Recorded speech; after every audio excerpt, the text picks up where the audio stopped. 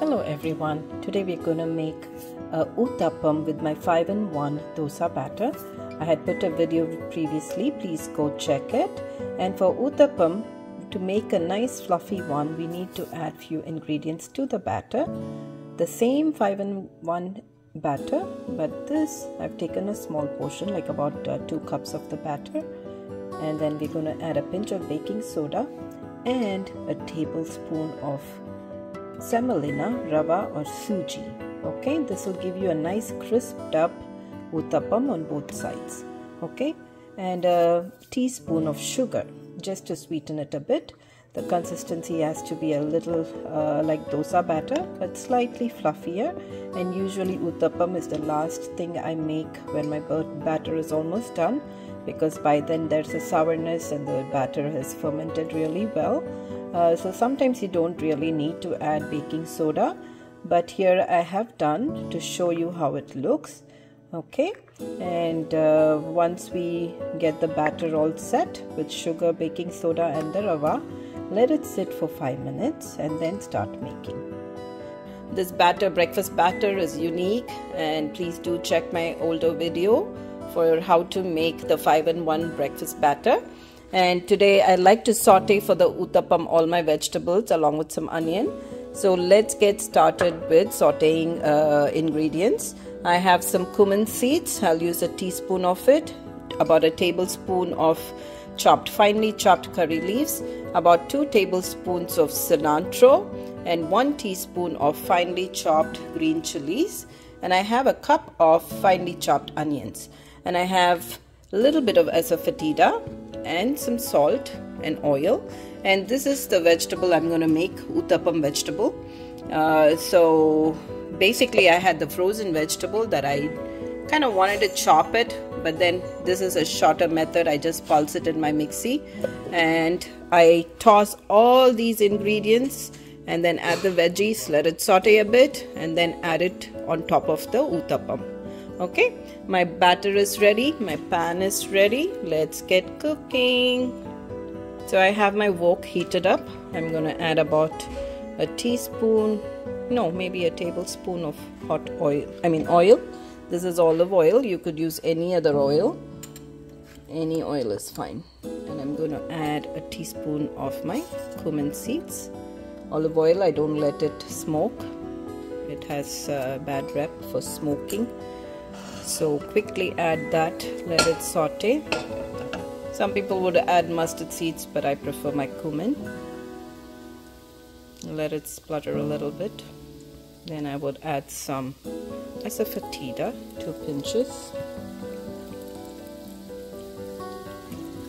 Your food talks to you. Listen to it. Give it a swirl all toasted. And now I would add my curry leaves.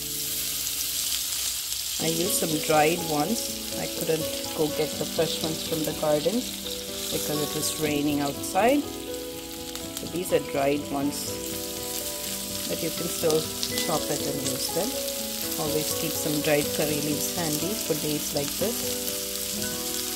So add in your onions. Let it wilt a little bit get sauteed. I'm gonna add my green chilies as well.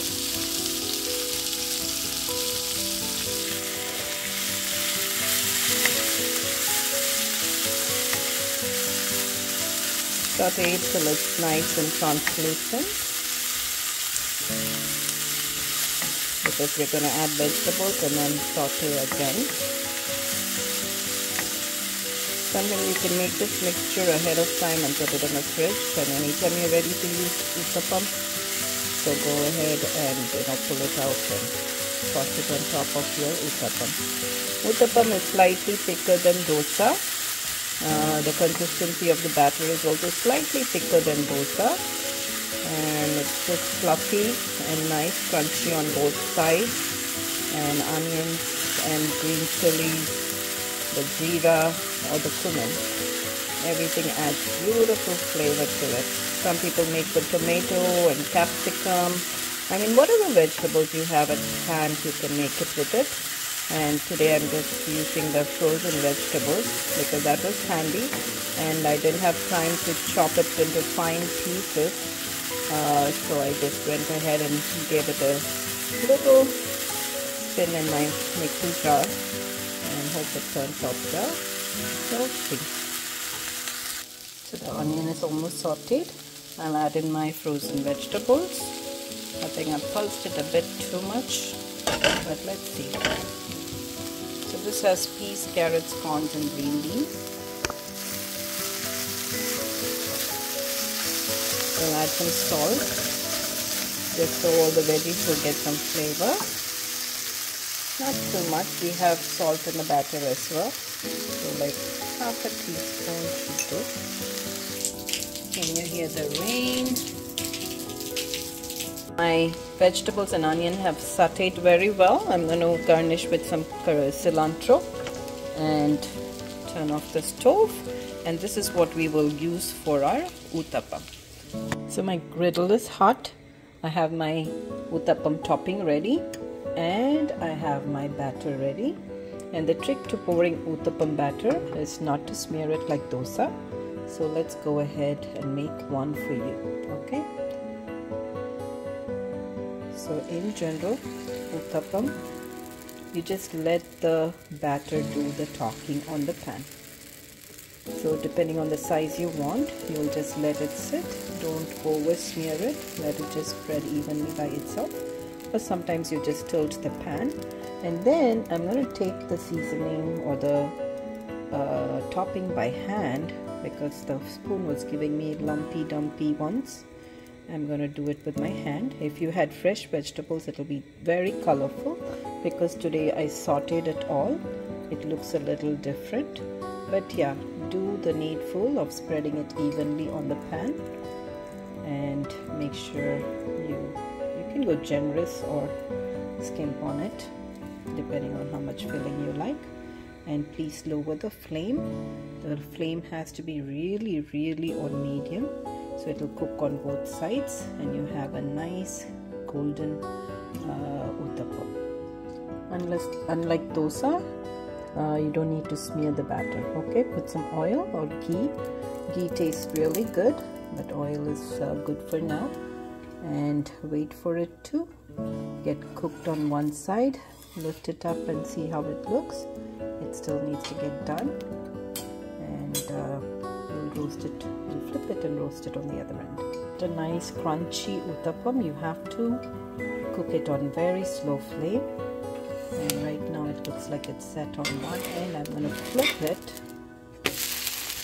and cook it on the other. Give it a little press so all the vegetables will get stuck to the uh. Okay? Be very patient and gentle and it'll get done beautifully so the uttapam is ready to be flipped